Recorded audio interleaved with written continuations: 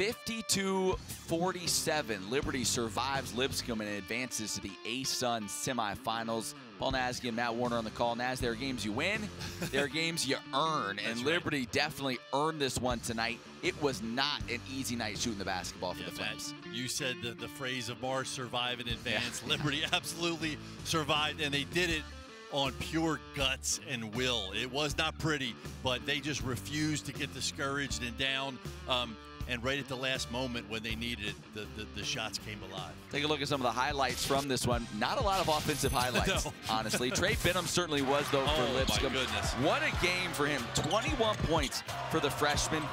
11 of those in the second half, and he did it inside and out. Yeah, and, and he had to because Asadullah got quick two fouls in the first half, went to the bench, and Trey Benham just got him through to that first half. Talking about Ahsan Asadullah coming off a monster performance in their first round game. Flames did a good job on him. Just 10 points, 8 boards, and that foul trouble limited how much he could be on the floor tonight. Yeah, he got good looks. They just wouldn't fall for him.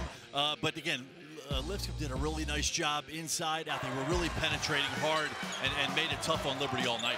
For Liberty, the offense, as we said, wasn't easy. Darius McGhee was a bright spot, certainly with 26. Down the stretch, a one-possession game. That turnover was huge, and so too was that steal from Blake Preston. Yeah, we mentioned the shots came around, but it was really the D. They got some critical stops at crucial times. At winning time, that D stepped up. And at winning time, Darius McGhee stepped up. 26 of Liberty's 52 points on this night.